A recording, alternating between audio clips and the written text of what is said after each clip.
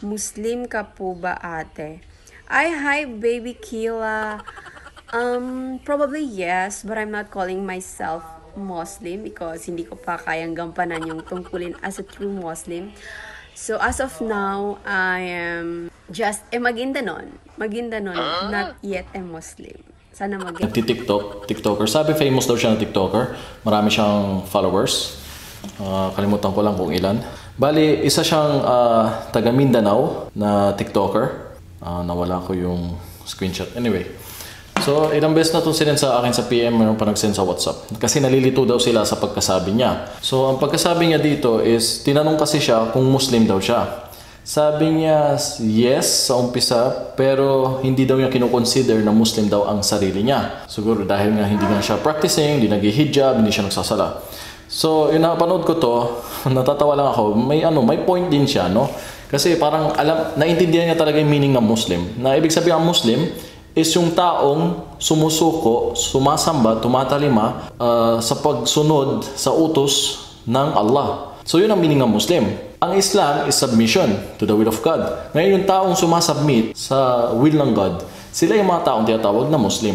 Kaya alam ko, nagigets, alam niya talaga yung meaning ng Muslim. Pero uh, medyo naawa din ako na sa sinabi niya na hindi niya tinuturing yung sarili niyang Muslim dahil nga hindi pa siya talaga practicing or sumusunod kumbaga. So ini- ni-review ko muna, alhamdulillah may ustad tayo dito. Ni-review ko muna kay ustad ngayon. So kaya bago ko makalimutan, 10 minutes na lang ang work namin aalis na. Kailangan kong gawa ng video ngayon. Sa ganitong sitwasyon, kasi may mga sekta ng Islam, ah, sekta ng Muslim, hindi Islam dahil ang Islam isa lang. Bali may mga ibang Muslim na may sekta tulad ng sinasabing Khawarij. Para sa kanila, pag ganito, automatic kafir na sa kanila yon non-Muslim na. So, ang opposite ng believer, yung Muslim, is kafir, non-Muslim. Uh, disbeliever, no? Yung nalaman na niya lahat yung mensahe, disbeliever. So, op- opposite ng mabuti is masama. opposite ng mainit is malamig. So, opposite ng Muslim is uh, kafir, di ba? Opposite ng tawhid is shirk. So, ngayon, yung ganitong klase na Muslim na hindi nagdadasal, hindi nagsumusum sa Islam na practice, hindi pa rin silang maituturing na kafir. No? Hindi sila pwede itakfir. Hindi sila pwede... Tayo na mga nasa Ahlus Sunnah wal Jama'ah, taga sunod talaga ng proper Islam, taga sunod talaga ni Propeta Muhammad, peace be upon him, is hindi pwede sa atin na basta-basta mag-takfir ng isang tao. Yung pag-reject sa kanya, pag, pagpatunay, pagsabi ng ito ay talagang non-Muslim, itong Muslim talaga na tumalikod na, mahirap. So hindi pa rin pwede sabihin, basta-basta yon.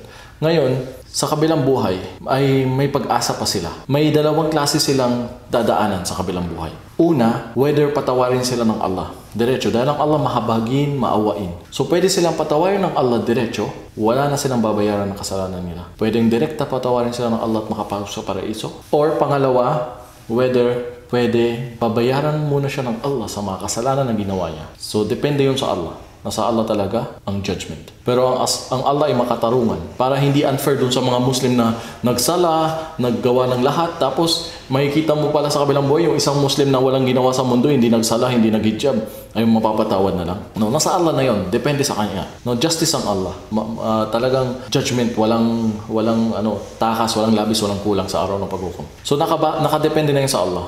Una, pwede siyang patawarin. Pangalawa, pwede din naman siyang pabayarin muna ng mga kasalanan niya sa impyerno. So magbabayad siya doon, masakit. Talaga, magbabayad. Isasawsaw ka muna sa impyerno, magbabayad ka muna doon. Pero makakapasok ka pa rin sa paraiso. After mo bayaran yung mga kasalanan mo, ka kukunin kasi may kontrata ka pa rin na makakapasok, sa, makakapasok ka sa paraiso. Ano yung kontrata na yon? Yun yung la ilaha illallah sa puso mo na naniniwala ka at na sumasaksi ka, walang Diyos na dapat sambahin maliban lang sa Allah. So yun ang pinaka-importante. Ngayon, sa sinabi niya na hindi pa niya kinukonsider yung sarili niya as a Muslim, may point siya na iniisip niya yung practicing pero hindi pa rin niya pwedeng itakfir ang sarili niya. Yung bang i-reject niya ang sarili niya as a Muslim. Kasi kahit papano ang meaning pa rin ng Muslim din yung naniniwala siya at sumasamba siya. Naiisa lang ang Diyos, ang Allah, walang ribulto, walang imahe. Di ba? At naniniwala siya na si Prophet Muhammad ay huling propeta ng Allah. Ngayon, may mga kondisyon para malaman ko yung tao is hindi na Muslim.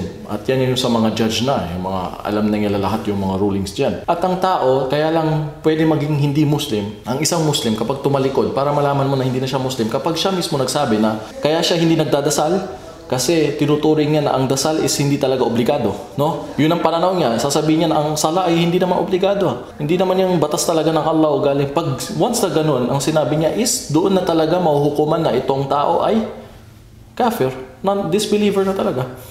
Lumabas sa bibig niya. Pero pag ang Muslim, hindi nagdadasal dahil sa iniisip niya, ina, ano, sasabihin niya na tinatamad siya or kulang pa yung faith niya or tamad, no? Hindi siya, hindi, hindi mo pwede sabihin na hindi na siya Muslim. Muslim pa rin siya, no? Pero, may kasalanan lang siya. Kasi yung obligado, iniwan niya, so may kapalit. Pero, porket, pag tinanong mo, bakit kayo hindi nagsasala? Ah, tinatamad ako eh, kulang faith ko, whatever. Muslim pa rin yun kahit papaano. So, hindi ma-apply yung sasabihin yung hadith na sinabi ng propeta. Ang pinagkaiba natin at mga kafir is ang salah. Alam ko maraming gagamit yun. So, in-explain, tinanong ko kayo, Ustad, yun ang sinabi din, na hindi din basta-basta yun. May, mga rulings din. So, naalala ko tuloy yung sinabi din ni Imam Malik, hindi ako nagkamali. Sa sayings niya, sabi niya, kung meron 99 na dahilan doon sa isang tao, na, kunwari, isang tao, isang Muslim na tumalikod na, nakitaan ng 99 na dahilan na pwedeng sabihin na siya ay talagang hindi na Muslim. No? 99 na dahilan, imagine mo. Pero may nananatili pang isang dahilan. May nananatili pang isa pang proof na pwede pang matukoy na siya ay talagang believer pa, isa pang mu'min, isa pang Muslim, ay mas pipiliin pa daw niya yung isa kesa na patunay na siya pa ay Muslim kaysa doon sa 99 na dahilan na maituturing hindi na siya Muslim. Imam Malik mismo, isang mataas na scholar natin noon panahon, pero mas pipiliin pa niya yung isang dahilan na matutur ma- maituturing Muslim pa yung tao kaysa doon sa 99 na dahilan na pwede na siya sanang ituring na hindi na Muslim. Kita mo? So ang Islam ay peace, ang Islam ay submission to the will of God. At sa babae na ito, makonsensya ka lang sana sa mangyayari sa kabilang buhay mo. No? Isipin mo yung, yung parusa, yung kapalit. Ang Allah ay maawain pero huwag natin abusuhin dahil may kapalit lahat yan. No? Ang justice nasa kabilang buhay. Yung pinapautos niya is para din naman sa atin yun, hindi naman para sa kanya. Yung sala, yung hijab. Napakasimple lang na pinapagawa niya dito sa mundo na titiisin lang natin na maiksing, maiksing panahon. Huwag natin ipalit yung makamundong bagay. Yung fame, yung posisyon, yung subscribers, yung followers. Huwag natin ipalit yung mga mak- makamundong bagay na mananatili lang sa atin ng saglit lang. Bukas mamaya pwede tayong mamatay anytime. Walang taong matalino na makapagsabi kailan siya mabubuhay. Kung buhay pa siya bukas o mamaya. Wala. Lahat sa atin kahit scientist hindi alam kung kailan siya mamamatay. So wag mong gawin na ang last na hijab mo or ang unang hijab mo sa mundong ito ay ang hijab na isusuot sa iyo pag namatay ka na. Di ba pag namatay tayo mga Muslim, binabalot tayo ng tela na puti. Huwag mong gawin na ito yung first time na maghihijab ka at first time na magbabalot ka ng mahaba at makapal sa mundong ito at yun na din ang magiging last hijab mo. So wag mong gawin na yun ang first at last na maghihijab ka dito sa mundong ito kung kailan ililibing ka na 6 feet below, walang sasama sa iyong magulang, pamilya, asawa, anak, pera mo, fame mo, subscribers mo, followers mo, thousand followers, walang sasama sa iyo, TikTok followers, walang sasama sa iyo doon. Mag-isa mo lang na sa madilim, sa ilalim ng lupa na 6 feet below, sa sementeryong malayo. Ang pamilya mo, maaalala ka lang ng 6 months, 1 year, iiyak para sa iyo. Tapos na. Kaibigan mo, after 6 months, kinalimutan ka na. Asawa mo, mag-asawa ng iba. Anak mo, maaalala ka lang for 1 year, 2 years, naka-move on na. So, nasaan na? Sinong kasama mo ngayon? Walang iba. Kung hindi siya lang yung pag-asa mo sa, sa, sa araw na yun, siya lang ang pag-asa mo. Ang Allah lang ang pag-asa mo. At wala nang iba sa libingan na iyon. At tandaan natin, bababa yung dalawang anghel na sobrang dilim at marumi, ah, baho, at sobrang ugly na tatanungin ka sa libingan, sinong Panginoon mo, ano, sino ang propeta mo, anong relihiyon mo. So delikado kung hindi makapagsalita ng maayos ang dila natin sa araw na yun. At parang kidlat na mga boses na sa sobrang nakakatakot. So sister, pag-isipan mo mabuti. Ikaw ay Muslim pa hanggat may la ilaha illallah sa puso mo na wala kang sinasambang ribulto, practice lang ang kulang. So yes, sabihin mo ikaw ay Muslim, non-practicing siguro. Pero huwag mo itakfir ang sarili mo, ilabas mo sa Islam. Kasi ibig sabihin yun, lumalabas ka sa Islam pag ganun. Huwag mo ilabas ang sarili mo sa Islam. Ikaw ay consider Muslim pa rin, maawa ka sa sarili mo. Kung kami, huwag mo hayaan kami na naaawa sa iyo. Maawa ka mismo sa sarili mo. Nang maawa din ang Allah sa iyo, na inshallah patawarin lahat ng mga kasalanan natin sa kabilang buhay. At mapapasukuin tayo ng paraiso wala ng bayaran sa impyerno. Di ba? Maraming salamat, pakishare ito. At welcome ka sister. Huwag mo isipin na hindi ka Muslim. May pag-asa. Habang may buhay, may pag-asa. Habang sumisikat ang araw, may pag-asa. Habang humihinga ka, magbalik loob. At huwag mo antayin na ito na yung huling hinanga mo at hindi mo ak- akalain kailan.